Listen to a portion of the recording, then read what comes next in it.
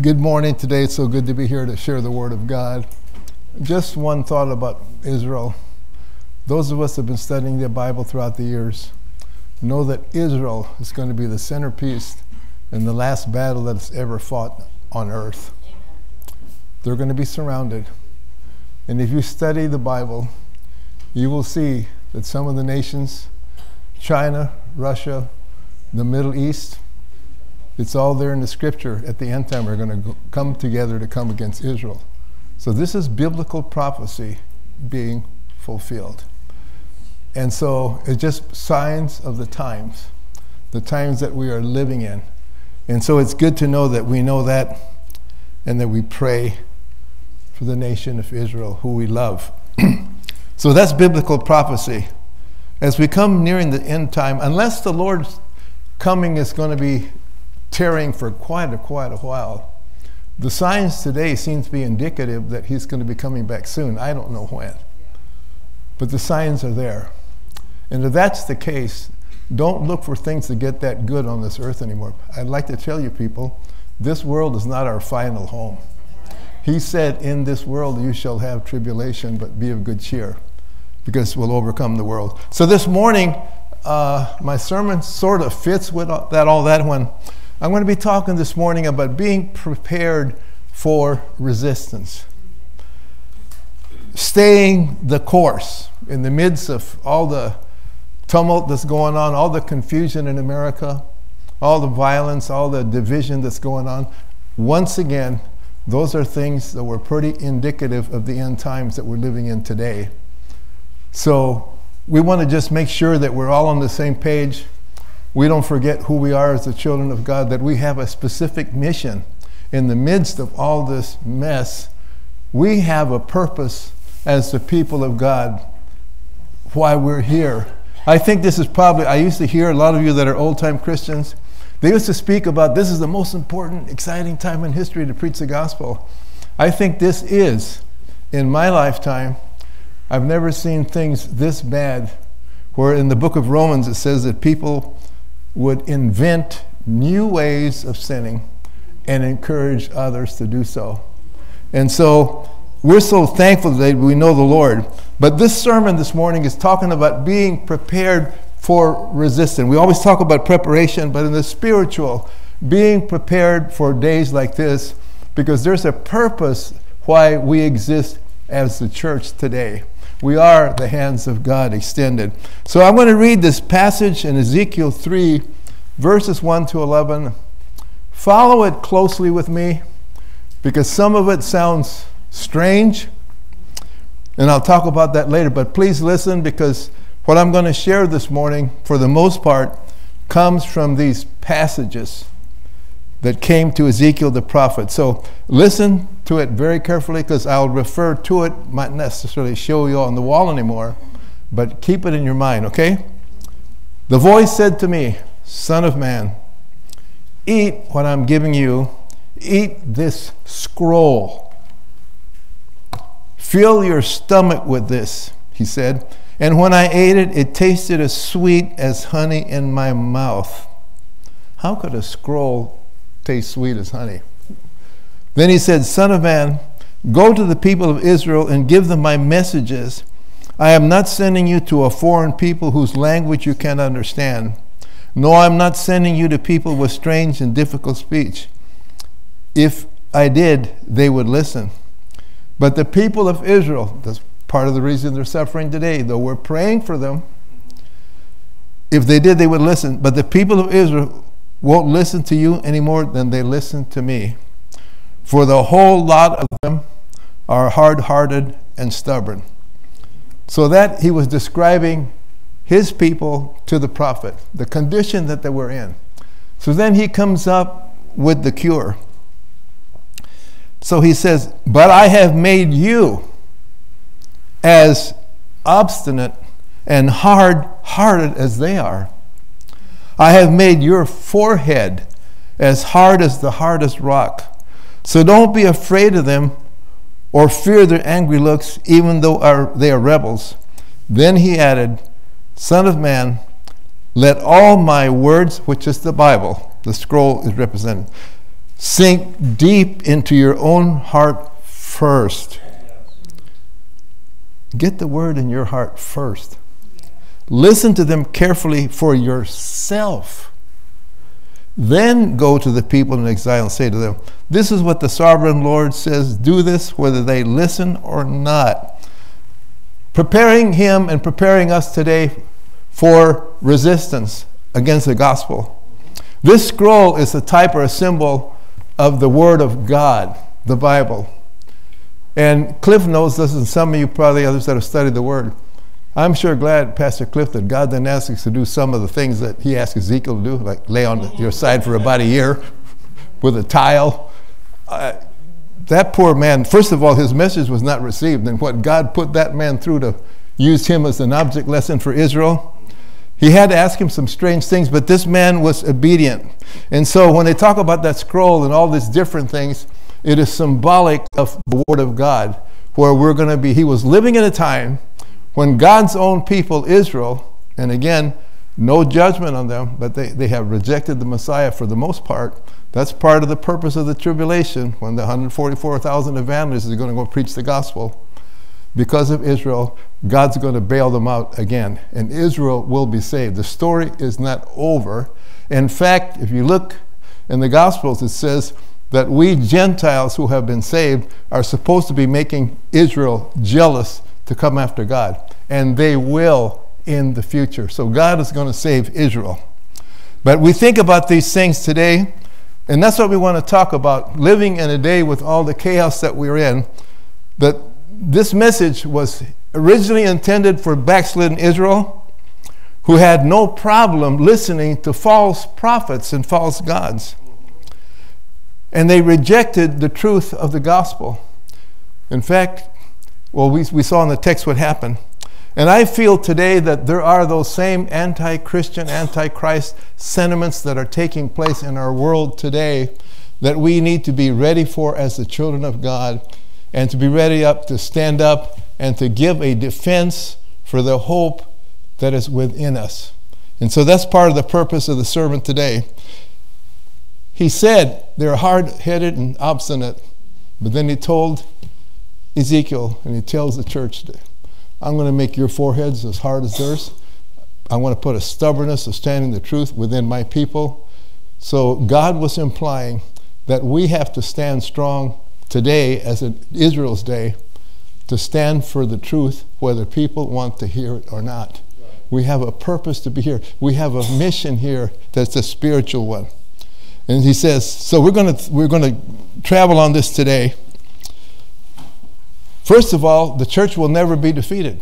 Jesus said the gates of hell will not prevail against the church. So we don't have to worry, that, worry about that. But we are indeed involved in a spiritual battle. When we see things that are going crazy in the world, we know that there is an enemy in this world who is Satan, who is moving people. They don't realize it, using people to bring all the chaos in the world that we're in today. It is not flesh and blood. It is principalities and powers in high places. It is satanic. And we see what he's doing. You know, to parents, we have to be hard headed and stubborn with our children and grandchildren and upholding the standards of the Word of God. There's some people that say, I've said it myself, I should be able to say it. I don't go for all that nonsense that's going on right now. They can all do what they want. I, I, I don't go for it. I know better. The devil knows that you know better, but they're sending this to your children. Right. And as I heard of somebody saying recently, one of these days, those kids in your house in that Christian home are going to look at mom and dad in about five years and say, You know, mom and dad, you're kind of weird people. You're weird. You're trying to live by that Bible with all these things that we do and we don't do. And I've went out in the world and I've been indoctrinated by the world. So we have to be careful that as parents, our own foreheads and our stubbornness of will upholding the truth of God's word if we're going to save our children. So we want to get to the sermon today and realizing that we are kingdom people with God's agenda. That is our primary purpose for the church. It's spiritual work. Following his agenda, not getting caught up with all the stuff we see in the news and we hear what's coming. You know, first of all, the Lord already told me all this was coming. Let's just take a quick view, spiritually speaking, prophetically speaking. Everywhere in the world is unrest. We'll get to the sermon. No leader anybody's happy with on the planet right now, almost anywhere. Aren't we ripe for one world global leader? Who people are going to go after? It's called the Antichrist, and everyone's going to come after him, and he's going to bring peace for three and a half years, and he's going to change on everybody. When you talk about a monetary system, I won't be surprised after the rapture that there will probably be a new system. It's going to be a different gig. I already know that. That's part of biblical prophecy. But my job today, and Cliff's job, is to preach the gospel of the kingdom, knowing no matter what the word pulls, we are God's people with God's agenda. And we are prepared to meet the challenge. And so the first thing he told the prophet was eat the scroll. Chomp, chomp. Eat the word. What does the Bible say? Man shall not live by the bread alone, but by every word that proceeds out of the mouth of God. Get that word into your system. And what did he say? Fill your stomach with it. Be people of the word. He wanted him to be filled with the Word of God. He wants his church to be filled with the Word of God and the Holy Spirit. So there's no room for other messages or voices to influence us. We have owned the Word of God. We believe it is the Word of God. What it says is right, we accept. What it says is wrong, we reject. We are filled with the Word. So we need to be today to stand and to survive is to be filled with the Word of God. People of the Word. Yes. So no other thoughts will cross your mind. No other thoughts. He says when he ate that scroll, it became as sweet as honey. You know, there are parts of the Bible that a lot of us struggle with, with some of the commandments and stuff. And sometimes we even get hard hearted and want to reject it. But when we own the scripture, when we realize that it's right, and we see that it is true, even the hard parts of the scripture we accept and it becomes sweet to us because we know it has been put there for our own good by our Father God. So the Word of God becomes sweet. We have an appetite for it. We don't reject it. Even the parts that convict us, that's good because we are being convicted. What did Paul say? Without the law, I would never know I was a sinner. I wouldn't know what it would be to covet. We need the Word of God. We need the people of prayer, but we need to be people of the Word. That's why you need to read it every day, even just for five minutes. Get into the Word of God where it gets into your heart, and there's no room for anything else to come in there and take you away. One of the secrets to the success in our family, for the most part, when it came to salvation, is I'm talking about my original family I was born into my mother and father lived the word. They were unyielding on the scripture. And because we saw that model before us, it impacted us powerfully. So when we went to school and heard strange stuff, we were not influenced by it because we had already been, as they used to say in the old days, rooted and grounded in the Word of God. It was a part of our lives. Now, did we always fulfill it? Not for some of us slipped from it. But we had that in our system and we got back to it because we saw it, it was lived out in front of us. It becomes sweet. We're not at odds with the scripture. But we see today that there are even Christians that are compromising their faith because they don't want to obey that part.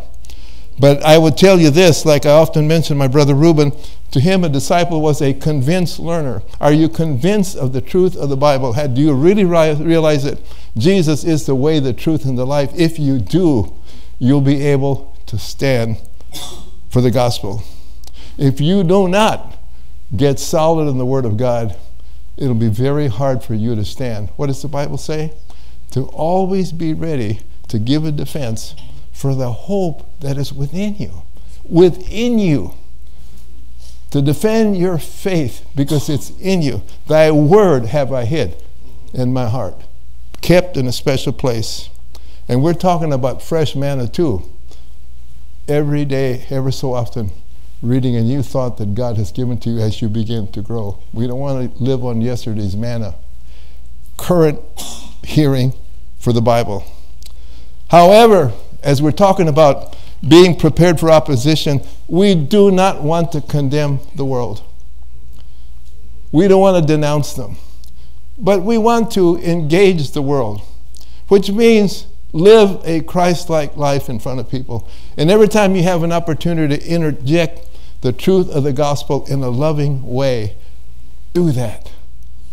Do that. Don't view them as the enemy. You know, my dad used to say that every man that was ever created on earth, saint or sinners, are brothers by virtue of being created by God the Father. So even those unsaved people, God created them too. They're our brothers and sisters because our God created them. So how we approach them, we're not going to hit the streets and carry signs unless God calls us to do that. And, and just be in people's face and brandishing all our beliefs and condemning people, ramming it down their throats. We don't do that. But when we get an opportunity, do you know today just being friendly is a great witness? Smiling at somebody is a great witness. Obey the word. Be people of the word. Own the scripture.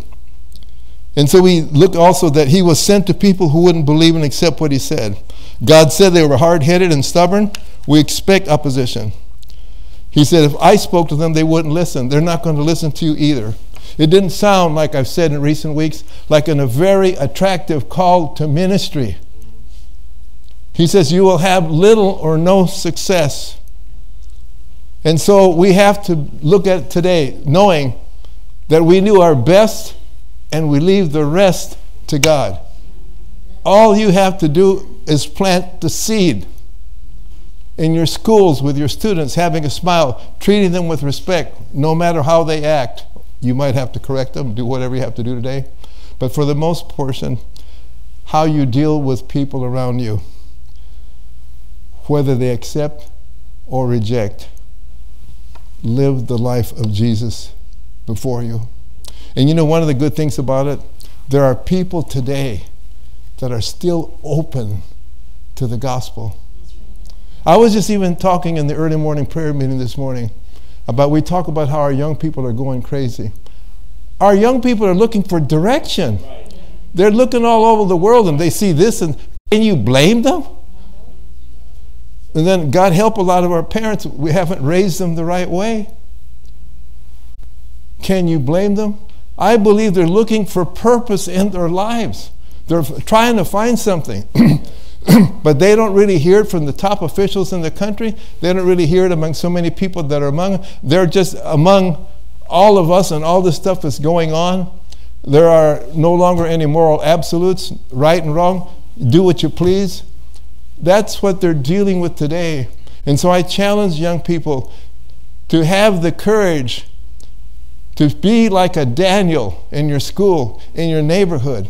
Purpose in your heart not to defile yourself. You know better. Your parents have taught you a better way. They have taught you better. Stand up, but they need to be encouraged to stand. And I pray that God would raise up youth leaders in our country that are going to challenge us. Because, you know, everybody wants to be different today, right? Even crazy different. Well, why can't you be crazy different for Jesus? Yeah.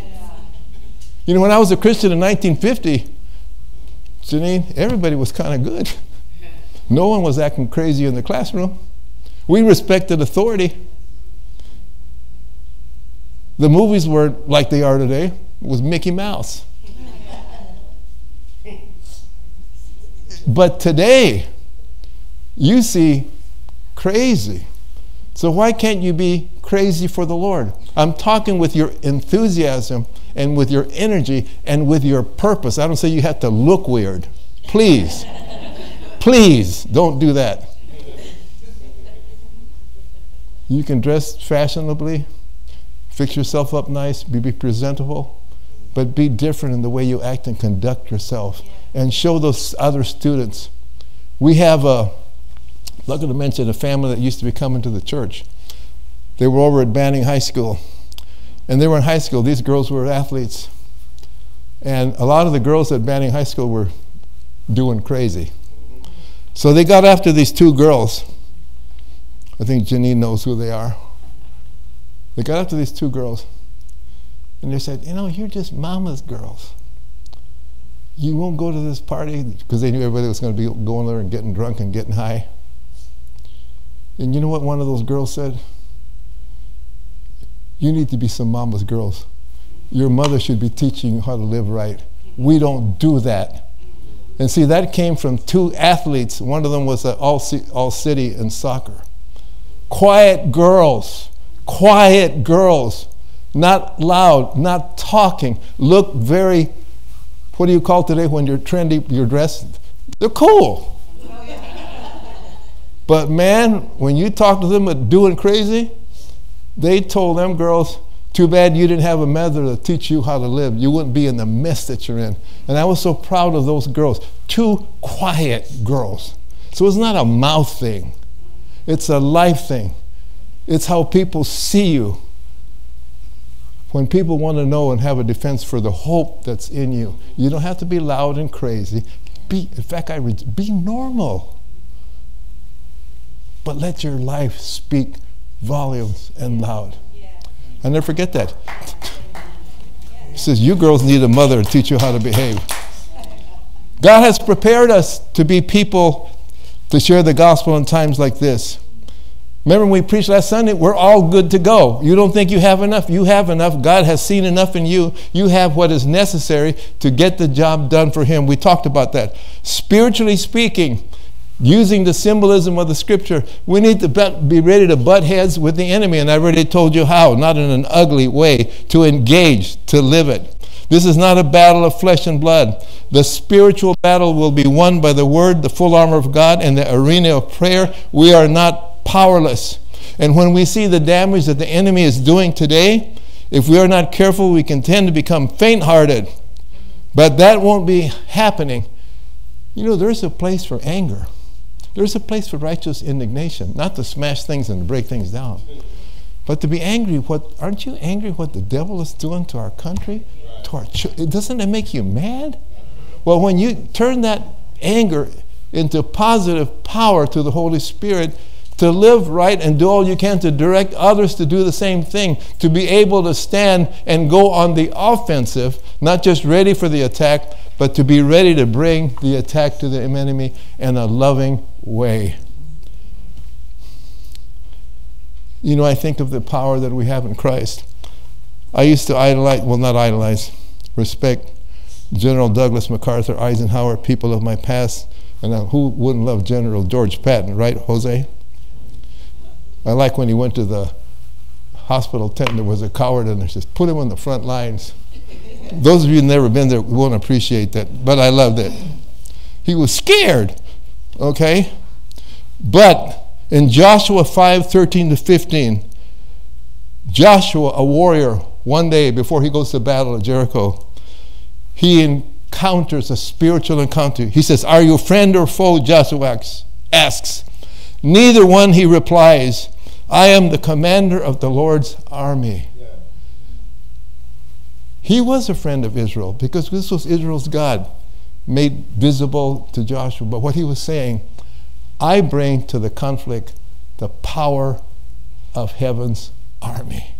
You're going to be fighting, you're going to be shouting around that wall, but I have what it takes to push you to victory. The same thing that he said to Gideon last week, who thought he was nothing the power of God was going to move through them. And I was thinking this morning, as a side thought just came to my mind. We often think about the Holy Spirit, and it kind of ties in with what I'm saying today in standing firm and in sharing the gospel. In the Pentecostal church, and rightfully so, we're so proud of the fact that we have the gifts of the Spirit. We have the gifts of tongues of God has blessed us with that interpretation and words of knowledge and stuff like that. But do you know the primary purpose of the Holy Spirit, what He came? He came with dunamis power. He made world evangelism possible. Why do you think Jesus said, I've got to go? The anointed one. I've got to go so the Holy Spirit can come.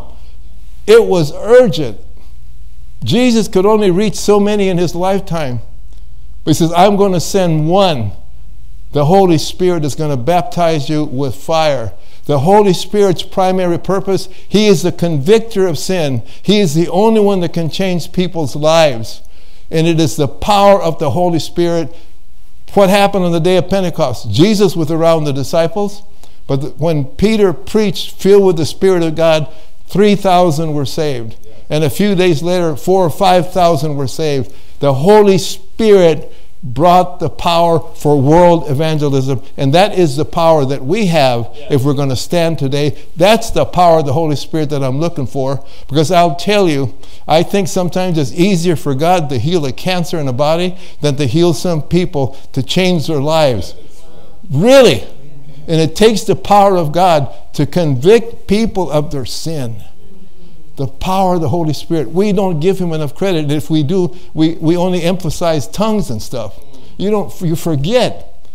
He made it possible for mass evangelism because he convicts people. He convicts me when I get off the path. He is with me all the time. He makes the difference. So the power that the Holy Spirit gives us to advance the gospel, to stand firm but lovingly. And so we often ask the question why does God want us to keep on sharing the gospel when there is so much resistance and opposition? This is our mission that God has given us today, church. Yes. This is where we need to see the eternal perspective. Ezekiel 2 5.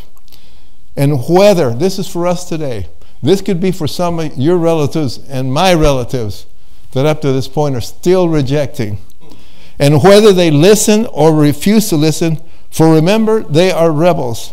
At least they will know they have a prophet among them. They have the voice of God among them. I was thinking uh, illustration that was going through the church years ago. There was a story about a young boy who came to a beach that was thousands of starfish were stranded on the beach. And he was walking around throwing one by one all back into the ocean. And somebody asked him, What are you doing? Do you think you can save all of those starfish? And he said, No. But everyone that I save is going to still live. And that's the mentality that we have to do in the gospel today. Even in sales, years ago, 20 leads, 20 contacts to make one sale. They say the average Christian was witness. I forgot how many times, maybe seven times before he finally made a commitment to Christ, which means that six or seven or ten or twelve other people before you came along planted the gospel, you watered it, years later, and God gave the increase. Yes. So don't think you got to close the deal. See, that's what scares more people. Oh, they're going to reject the gospel. First of all, they're not rejecting you, they're rejecting the gospel. And if you do it in a kind way, you're not going to offend them anyway. You see, I'm just telling you this to help you because I love you. Stick with the message. Plant the seed. Leave the rest to God because that's when the Holy Spirit is going to convict our hearts. And that seed that you planted, there are some of you here that are seated here today that probably were witnessed to by a grandmother and you didn't accept the Lord right away. You might have went into the world. I know there's a few in here that probably that has happened. But throughout the years, some people came along and watered that seed that was planted. Someone had the courage to approach you way back then, and you came to know the Lord Jesus Christ as your Savior because the Holy Spirit, the convictor, touched you. And that's why we can pray and believe God for the salvation of our families. Just believe God that no matter what, I'm going to continue to pray for this children and grandchildren. And when that trumpet sounds, if I'm faithful, they're going to be ready for the coming of the Lord. And at least they will know in the day of judgment that there was a prophet who stood among them. And let that be you and me today. Throughout history and centuries, there were hundreds of years where darkness thrived. And I believe it's true today that there was always a remnant. You see that in Israel? You see that throughout history? Through the Dark Ages, the Reformation, the Crusades, all that mess that we went through, there was always a remnant of believers in that time that stood for the gospel Then we had the Reformation in the 14th, 15th century. Began to realize that the saved were saved by faith in Christ alone. There were centuries and years of darkness, but there was always somebody standing. And so when we look at the big picture today, here we are in 2023. We are God's representatives on earth. We really are. You might go home and eat your Big Mac, you know, and you'll forget everything I said. But get this in your head we are the church. We are the army of the Lord. We are his hands extended. We are his feet extended. We have been called to preach the precious gospel to reach other for the Lord. That is my mission today. That's Cliff's mission today. That's our church's mission today to prepare you spiritually. Because who else is preaching what we're preaching? If we get caught up in all the politics that's going on way out there, see, that's another trick of the enemy. He wants me to start focusing on that so I'll forget about this. It's, think of it. He'll use whatever tool he can use to get you thinking about that stuff out there. Oh, this is happening. That's ha- I know it's happening, but I also know my heavenly Father watches over me. I'm not going to worry about that stuff. I have to worry about this. This is my. When I took English class writing, there was always this thesis statement of what is your specific purpose in writing this paper. What is your specific purpose as a Christian? Is it to get entangled in all that nonsense that's going out there? It's to be committed to what the Bible says, and this will take care of what's going on out there. Because He'll give you wisdom and how to live your life on earth right now. And we go to God. You know, I love the Bible in Acts 13 36, and you can stand to your feet right now.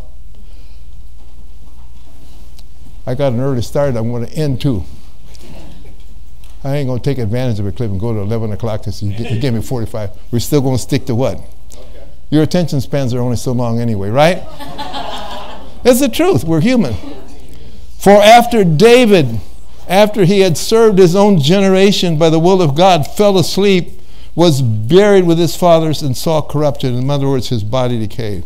And I pray today that every one of you that's here, that's been my life's purpose as a pastor, to serve my generation. That's why God put me here. It was never an occupation, it was a call from the Lord. Because if it isn't a call, you're, you're a hireling. It's not just the, the ministry is a little bit different. And I believe too that school teachers are called. I really, because if I wouldn't have been a pastor, I would have been a school teacher or a lawyer. I thought about two things. But those two things were always, but God didn't put me there. He called me to share the gospel with anybody I know. And I try to do my best to do that because I want God to bless you. And I want us all to be people of the word and to be blessed. So, what have we learned today? We've got to get the word into our hearts and own it.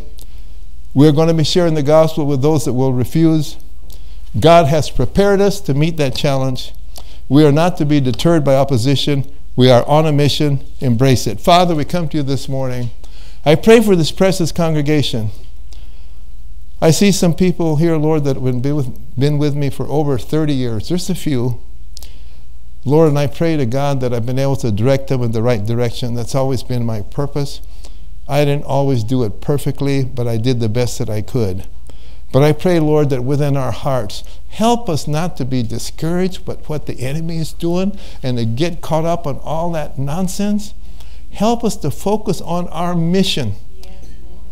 When Sarah and the young people go to school, she knows that she's in the world, but not of the world. That doesn't mean she's weird and can't join any clubs or have any fun. No. She just knows where to draw the line. The same thing with the adults when they go to work. We don't have to get weird and necessarily have 10 Bibles on our desk. We just need to live the Bible because the Bible said we are epistles written of God in our hearts, not with pen and ink. We are the gospel in front of people. So help us to be that today. And Lord, when I talk about pre- prepared for op- opposition, I'm not trying to scare anybody. I'm just saying there's going to be resistance, and if it gets tough, you will be with us. You will provide. You will direct. You will be everything to us. And so help us to stand firm, unmovable, and always abounding in the work of the Lord. Bless us today.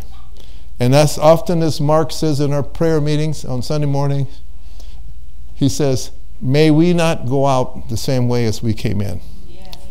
And I pray for every sermon that's preached here that this will not just be words, but they will be life changing yes. words yes. that will change the way we conduct our lives where necessary or encourage us to continue on the right path we're on. That is my heart's desire. I know that's Pastor Cliff's desire.